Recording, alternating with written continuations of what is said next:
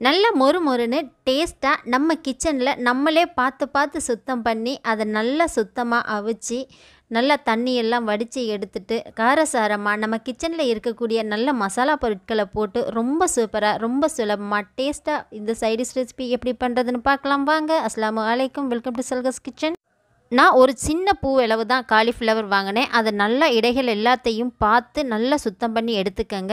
Cauliflower நல்லா சுத்தம் பண்ணி எடுத்து நான் ஒரு ரெண்டு தண்ணியில் கழுவி வச்சுருக்கேன். இப்போ இதை நம்ம நார்மலாக கழுவினதை விட நல்லா சுடுதண்ணியில் உப்பு மஞ்சள் எல்லாம் போட்டு நம்ம கழுவி எடுத்தோம்னா தான் ரொம்ப ரொம்ப நல்லது. பூச்சி எல்லாம் வெளியில் வந்துடும் காலிஃப்ளவர் மூழ்கிற அளவு தண்ணி ஊற்றிட்டு கொஞ்சமாக சால்ட்டு மஞ்சள் போட்டு இது எல்லாத்தையுமே அதுக்குள்ளே போட்டுடலாம் ரொம்ப வேக வெட்டக்கூடாதுங்க. கொஞ்சம் ஒரு இருபத்தஞ்சி பர்சன்டேஜ் நமக்கு வெந்துச்சுன்னா போதும்.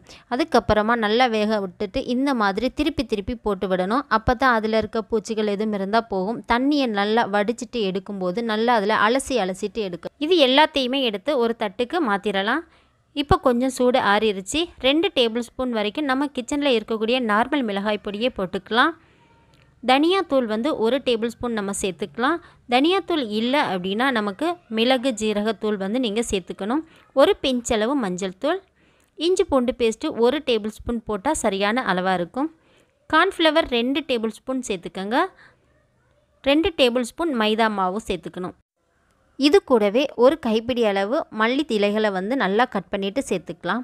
உப்பு தேவையான அளவு கொஞ்சமாக ஒரு ரெண்டு டேபிள் ஸ்பூன் தண்ணி விட்டு நல்லா கலந்து விட்டுக்கலாம். உப்பு ஆல்ரெடி நம்ம போட்டு அவிச்சிருக்கோம். ஸோ அதனால் உப்பு கொஞ்சம் கம்மியாக போட்டு நீங்கள் டெஸ்ட் பண்ணிக்கோங்க. ரெண்டுலேருந்து மூணு பிஞ்ச் அளவுக்கு ஃபுட் கலர் ஆட் பண்ணிக்கலாம். ஆப்ஷன் தான். உங்களுக்கு வேணும்னா நீங்கள் போட்டுக்கலாம். இல்லைன்னா நீங்கள் அவாய்ட் பண்ணிக்கலாம். இப்போ இது எல்லாத்தையும் சேர்த்து நல்லா கலந்து விட்டுக்கலாம். இந்த மாதிரி நல்லா அழுத்தி அழுத்தி கலந்து கொடுங்க. கலந்து விடும்போது கொஞ்சம் கூட உடஞ்சிடக்கூடாது பூவு. அது மாதிரி லைட்டாக கலந்து எடுக்கணும். பாருங்கள் அந்த மல்லி இலைகள் போட்டதுனால நல்லா அதில் ஒட்டிட்டு பார்க்கும்போது நல்லா இருக்கும் நல்லா டேஸ்ட்டாகவும் இருக்கும்.